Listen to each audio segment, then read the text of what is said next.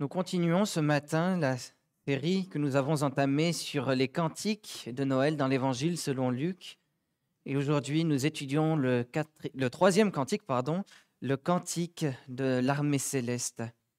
Je vous invite à ouvrir vos Bibles dans l'Évangile selon Luc au chapitre 2, les versets 1 à 20.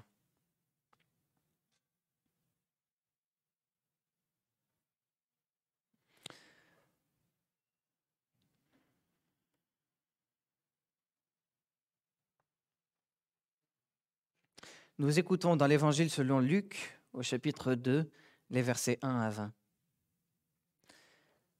En ces jours-là parut un décret de César Auguste en vue du recensement de toute la terre. Ce premier recensement eut lieu pendant que Quirinius était gouverneur de Syrie. Tous allaient se faire recenser, chacun dans sa propre ville. Joseph aussi monta de la Galilée, de la ville de Nazareth, pour se rendre en Judée dans la ville de David, appelée Bethléem, parce qu'il était de la maison et de la famille de David, afin de se faire inscrire avec Marie, sa fiancée, qui était enceinte. Pendant qu'ils étaient là, le temps où Marie devait accoucher arriva et elle enfanta son fils premier-né. Elle l'emmaillota et le coucha dans une crèche, parce qu'il n'y avait pas de place pour eux dans l'hôtellerie. Il y avait dans cette même contrée des bergers qui passaient dans les champs les veilles de la nuit pour garder leurs troupeaux. Un ange du Seigneur leur apparut et la gloire du Seigneur resplendit autour d'eux.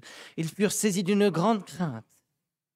Mais l'ange leur dit, Soyez sans crainte, car je vous annonce la bonne nouvelle d'une grande joie qui sera pour tout le peuple. Aujourd'hui, dans la ville de David, il vous est né un sauveur qui est le Christ, le Seigneur. Et ceci sera pour vous un signe vous trouverez un nouveau-né emmailloté et couché dans une crèche. Et soudain, il se joignit à l'ange une multitude de l'armée céleste qui louait Dieu et disait Gloire à Dieu dans les lieux très hauts et paix sur la terre parmi les hommes qui l'agréent. Lorsque les anges se furent éloignés d'eux vers le ciel, les bergers se dirent les uns aux autres Allons donc jusqu'à Bethléem et voyons ce qui est arrivé, ce que le Seigneur nous a fait connaître. Ils y allèrent en hâte et y trouvèrent Marie, Joseph et le nouveau-né dans la crèche. Après l'avoir vu, ils racontèrent ce qui leur avait été dit au sujet de ce petit enfant. Tous ceux qui les entendirent furent dans l'étonnement de ce que leur disaient les bergers. Marie conservait toutes ces choses et les repassait dans son cœur. Et les bergers s'en retournèrent, en glorifiant et louant Dieu pour tout ce qu'ils avaient entendu et vu, conformément à ce qui leur avait été dit. Remettons notre enseignement dans la prière.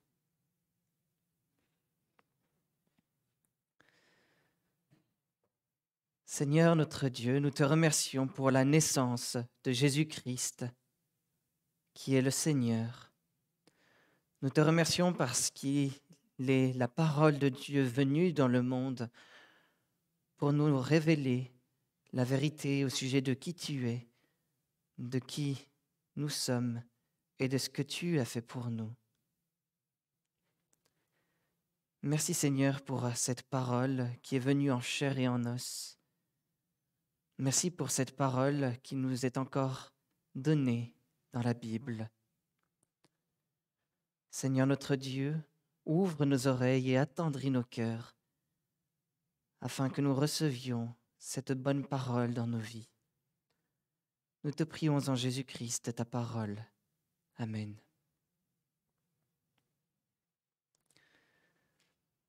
Bien-aimés du Seigneur, nous vivons dans un monde en proie à de nombreuses menaces. On parle de menaces politiques et de guerres interminables, on parle de menaces technologiques et de cybercriminalité, on parle de menaces écologiques et de réchauffement climatique. Et dans certains milieux chrétiens, on parle même de menaces spirituelles, de multiplication du péché. L'homme ne résiste pas à ces innombrables menaces. Beaucoup voient le monde décliner et perdent tout espoir. Ils tombent dans le pessimisme, pour ne pas dire le défaitisme. Leur regard s'assombrissent et leur cœur s'agite de terribles angoisses. Pour ces gens, Noël, au fond, est un moment de grande souffrance. Ils agissent comme si tout va bien, alors qu'ils pensent au contraire que tout va mal. Pour nous, les chrétiens, Noël est un moment de grande joie et de grand réconfort. Noël est un moment d'espoir. Oui, la naissance de notre Seigneur Jésus nous réconforte et nous encourage. Le cantique de l'armée céleste est lui-même d'un grand réconfort et d'un formidable encouragement. En célébrant la gloire de Dieu et la paix pour son peuple, il nous rappelle que la victoire du Seigneur est déjà acquise. Le bien a déjà vaincu le mal. Ce matin, je vous propose d'étudier ce cantique en deux parties. Premièrement, nous verrons que l'armée céleste loue la gloire de Dieu dans les lieux très hauts. Et deuxièmement, nous verrons que l'armée céleste loue la paix sur terre parmi les hommes qui l'agréent. Dans un premier temps, au début du verset 14, l'armée céleste loue la gloire du Seigneur en disant Gloire à Dieu dans les lieux très hauts. Début du verset 14. Les anges célèbrent la gloire de Dieu. Ils célèbrent la gloire du Tout-Puissant. Ils célèbrent la gloire du Roi de la création. N'est-ce pas lui qui règne dans les lieux très hauts? David priait déjà dans le psaume 11. L'Éternel à son trône dans les cieux. Psaume 11, verset 4. Il chantait encore dans le psaume 103. L'Éternel a établi son trône dans les cieux, et son règne domine sur toutes choses. Psaume 103, verset 19. Si David affirmait que Dieu règne dans le ciel, cela ne signifie pas que Dieu est absent de la terre.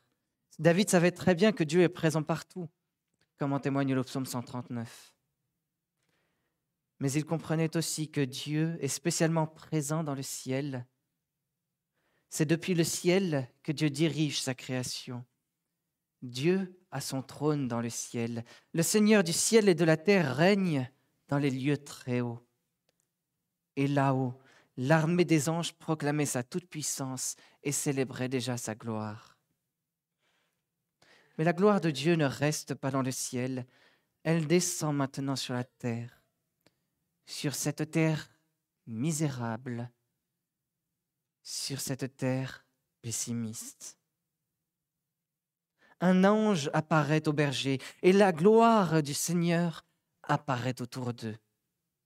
L'ange leur annonce une bonne nouvelle, une grande nouvelle. Aujourd'hui, dans la ville de David, il vous est né un sauveur qui est le Christ, le Seigneur. Et ceci sera pour vous un signe vous trouverez un nouveau-né emmailloté et couché dans une crèche. Versets 11 et 12. Jésus est le Sauveur, c'est-à-dire le Christ. Christ est le mot grec qui traduisait le mot hébreu Messie. Le Messie était ce Sauveur promis par Dieu depuis la chute de l'homme.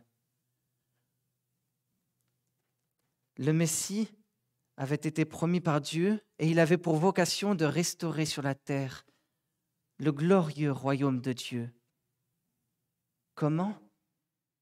En combattant Satan, le diable et le péché, et en ayant la victoire sur eux. Jésus est le Sauveur, c'est-à-dire le Christ, mais Jésus est aussi le Seigneur. En grec, le mot Seigneur traduit le mot hébreu Yahweh, qui est exactement le nom de l'Éternel, le nom du Dieu de l'Alliance. Lorsque l'ange dit que Jésus est le Seigneur, il dit que Jésus est le Dieu de l'Alliance. Le Dieu de l'Alliance est descendu sur la terre. Il est venu naître dans la terre. Il est venu faire resplendir la gloire de Dieu sur la terre. La lettre aux Hébreux ajoute d'ailleurs que Jésus est le rayonnement de la gloire de Dieu et l'expression de son être. Jésus est enfin un nouveau-né. Il est un homme, comme vous, comme moi, excepté qu'il est sans péché. En Jésus, en ce petit enfant, le Dieu de gloire est descendu de son trône pour naître humblement dans une étable. Dans une petite crèche repose humblement la gloire de Dieu. L'apparition dans le monde du Fils de Dieu est la manifestation la plus élevée de la gloire de Dieu. Par sa vie et sa mort sur la croix, Jésus-Christ glorifiera les attributs de Dieu mieux qu'aucun autre être humain n'a jamais pu le faire et ne réussira jamais à le faire. L'Évangile selon Luc nous raconte que Jésus a rendu gloire à Dieu pendant toute sa vie. Il a rendu gloire à la bonté de Dieu en guérissant des malades. Il a rendu gloire à la miséricorde de Dieu en pardonnant à une femme de mauvaise vie. Il a rendu gloire à la puissance de Dieu en ramenant des morts à la vie. Il a rendu gloire à la générosité de Dieu en nourrissant des foules entières. Il a rendu gloire à l'amour de Dieu en accueillant des petits-enfants. Il a rendu gloire à la sainteté de Dieu en chassant des voleurs du temple. Jésus a toujours fait ce qui est juste et ce qui est bon. Il n'a jamais cessé d'obéir au bon commandement de Dieu. Toute sa vie rendait gloire à Dieu. En approchant du moment de sa gloire, euh, de sa mort, pardon, Jésus a prié Père, je t'ai glorifié sur la terre, j'ai achevé l'œuvre que tu m'as donnée à faire. Glorifie ton Fils, afin que le Fils te glorifie, selon que tu lui as donné le pouvoir sur toute chair, afin qu'il donne la vie éternelle à tout ce qu'il lui a donné. Jean 17. Jésus-Christ arrivait, il approchait des, des grandes souffrances qui précédaient sa mort. Et Jésus prie. Il prie pour continuer à faire resplendir la gloire de Dieu, même dans sa mort. Et par sa mort, Jésus-Christ a fait resplendir la gloire de Dieu encore mieux que par sa vie. Il a fait resplendir la gloire de tous les attributs de Dieu. C'est par sa mort sur la croix que nous avons le pardon des péchés. Et c'est donc par sa mort sur la croix que la miséricorde de Dieu est glorifiée de manière ultime. Par sa mort sur la croix, Jésus nous montre donc l'amour de Dieu et rend gloire à l'amour de Dieu. Par sa mort sur la croix, Jésus montre la générosité de Dieu. Le Fils bien-aimé de Dieu a donné sa vie pour nous. Il rend gloire à la générosité de Dieu. Par sa mort sur la croix, Jésus-Christ a rendu gloire de manière ultime à Dieu.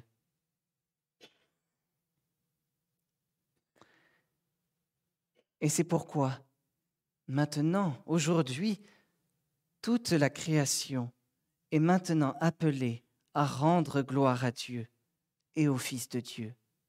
C'est d'ailleurs déjà ce que font les anges, et c'est ce que feront bientôt les bergers. Rendre gloire à Dieu, comme Jésus-Christ, notre Sauveur, en qui nous avons le pardon. Nous sommes encouragés à rendre gloire à Dieu. Comment? Tout d'abord par nos chants les anges chantent et les bergers proclameront la justice, la gloire de Dieu. Nous pouvons chanter dans nos vies privées, tout seuls, dans nos voitures par exemple, dans nos familles aussi, dans nos cultes en famille, ou dans l'église tous les dimanches matins. Nous pouvons le glorifier par nos chants, mais nous pouvons aussi le glorifier par nos vies. en montrant à la maison, dans nos familles, que nous aimons le Seigneur, notre Dieu, de tout notre cœur, de toute notre âme, de toute notre force, et même jusqu'au plus profond de nos pensées. Nous pouvons le montrer dans nos familles, lorsque nous agissons avec nos enfants de manière juste. Nous pouvons le montrer dans nos familles, lorsque nous demandons pardon à notre époux ou à notre épouse après lui avoir fait du mal.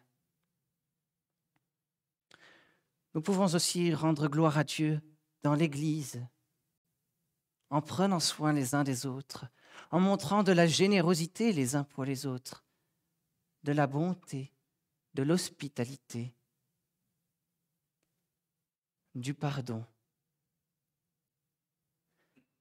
Et nous pouvons aussi rendre gloire à Dieu en proclamant et en agissant avec un comportement qui fait resplendir l'Évangile dans le monde. Un comportement qui montre l'amour que Dieu nous a donné. Un comportement qui déborde de l'amour de Dieu dans le monde.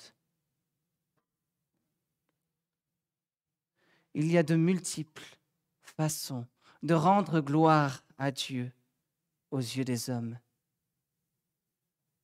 Mais il y a aussi de multiples raisons de gloire à Dieu, de rendre gloire à Dieu dans nos vies privées et dans nos vies personnelles, même cachées dans nos chambres, loin de nos enfants, loin de nos conjoints. Toute notre vie devrait être consacrée à rendre gloire à notre Seigneur et à notre Sauveur Jésus-Christ avec son aide Oui, Dieu l'a souverainement élevé. Il lui a donné le nom qui est au-dessus de tout nom, afin qu'au nom de Jésus, tout genou fléchisse dans les cieux, sur la terre et sous la terre, et que toute langue confesse que Jésus-Christ est le Seigneur, à la gloire de Dieu le Père. Philippiens 2, 9 à 11. Jésus-Christ est dans le ciel, et c'est par lui que nous pouvons rendre gloire à Dieu le Père. Aujourd'hui, nous le faisons imparfaitement en comptant encore sur le pardon quotidien de notre Seigneur Jésus. Mais un jour, toute langue rendra gloire à notre Seigneur. Un jour, tous nos membres rendront gloire au Seigneur. Gloire à Dieu dans les lieux très hauts. Dans un deuxième temps, à la fin du verset 14, l'armée céleste loue le Seigneur en disant Paix sur la terre aux hommes qui l'agréent. Fin du verset 14. Alors il est tout à fait intéressant de constater que Dieu est encore le sujet principal de cette proposition. Quelque chose qu'on ne voit pas dans la traduction française, mais dans le grec, et que je trouve absolument merveilleux, c'est que Dieu est au centre de cette phrase. Gloire à Dieu dans les lieux très hauts et paix sur la terre. En grec, nous lisons gloire dans les lieux très hauts à Dieu et sur la terre, paix. Dieu Dieu est au centre, Dieu est au cœur et Dieu est le but de cette grande proposition. Dieu est au cœur de, la louange de l'armée céleste. Il en est encore le sujet principal. Et là encore, l'emphase est mise sur Dieu plutôt que sur les hommes, sur ce que Dieu fait plutôt que sur ce que les hommes font. Dieu relie les lieux très hauts à la terre la paix de Dieu qui était dans les lieux très hauts est maintenant venue sur la terre. Et c'est une paix qui dépasse toute imagination. C'est une paix parfaite entre le Dieu saint et l'homme misérable et pécheur. Cette paix nous est donnée en Jésus-Christ. Jésus-Christ, nous l'avons vu, est Dieu. Pendant sa vie, il a pardonné à de nombreuses personnes au nom de Dieu. Et sur la croix, il nous a rachetés par son propre sang. Il nous a offert gratuitement la paix. Il l'a offerte au monde. C'est une paix précieuse, une paix calme, une paix tranquillisante pour nos cœurs. C'est une paix qui nous fait du bien. Pourquoi? Parce qu'en pardonnant nos fautes envers Dieu, Jésus nous réconcilie avec notre Créateur. Jésus nous réconcilie avec le roi de la création.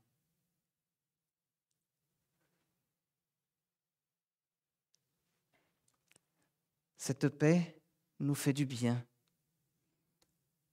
Elle nous réconcilie avec celui qui nous a fait, avec notre Père céleste.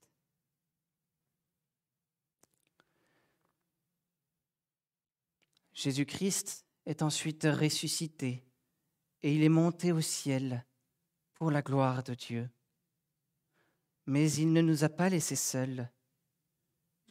Il nous a laissé son Saint-Esprit.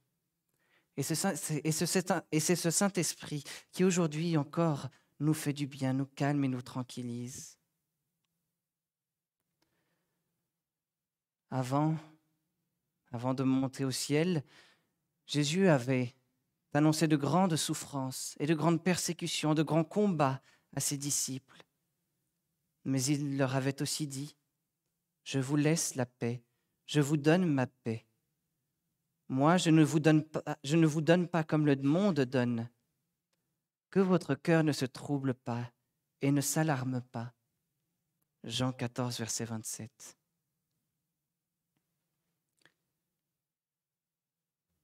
L'apôtre Paul, dans sa lettre aux Galates, nous rappelle aussi que la paix fait partie du fruit de l'Esprit. La paix est produite en nous par l'Esprit Saint. Cette paix, cette assurance que nous sommes pardonnés et réconciliés avec Dieu est produite par l'Esprit Saint. Et la paix, cette réconciliation les uns avec les autres, est aussi produite par l'Esprit Saint. C'est le Saint-Esprit qui, une fois au fond de notre cœur, fait vivre l'homme et la femme en paix avec son prochain. Et nous savons qu'un jour, lors du retour du Seigneur Jésus, cette paix se propagera au monde entier.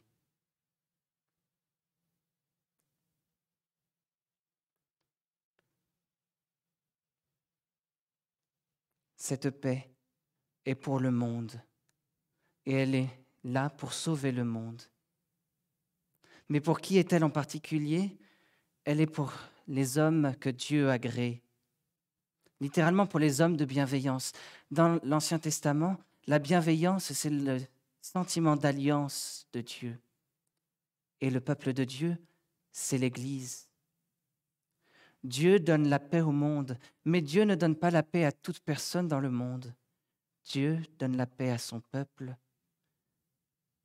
Et c'est avec l'aide du Saint-Esprit qu'aujourd'hui, nous pouvons témoigner de cette paix dans le monde.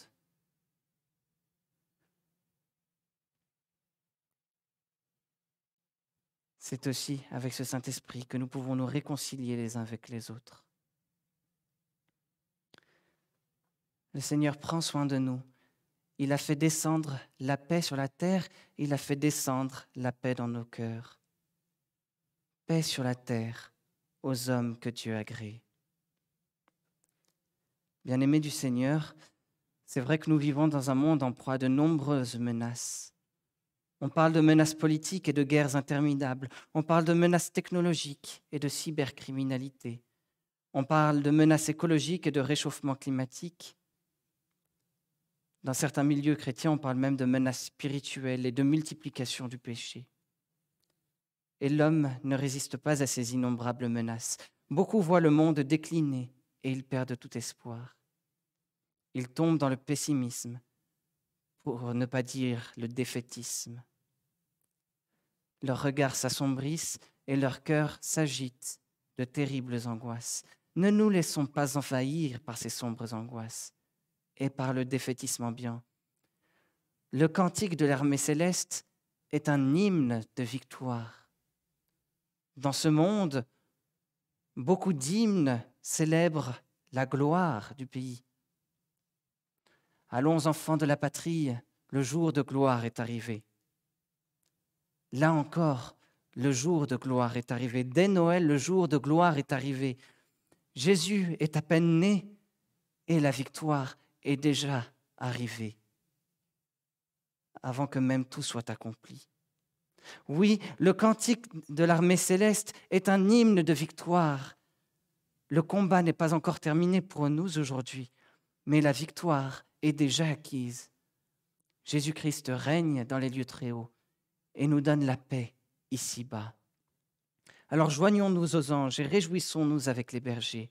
Gloire à Dieu dans les lieux très hauts et paix sur la terre aux hommes qui l'agréent. Prions ensemble.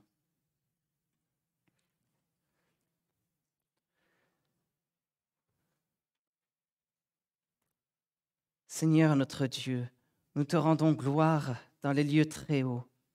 Tu es le Seigneur de la création et c'est pourquoi nous te rendons gloire. Mais tu es aussi notre Sauveur, celui qui nous a rachetés de l'esclavage du diable et qui a pardonné nos fautes. C'est pourquoi nous te célébrons et nous te rendons gloire d'autant plus. Merci Seigneur notre Dieu pour la paix que tu donnes dans nos cœurs. Merci Seigneur notre Dieu pour la paix dont tu remplis ton Église. Merci Seigneur pour la paix que tu promets pour le monde. La victoire est déjà acquise. C'est en toi que nous nous confions. Béni sois-tu, Seigneur notre Dieu, pour la naissance de Jésus qui nous donne la paix. Amen.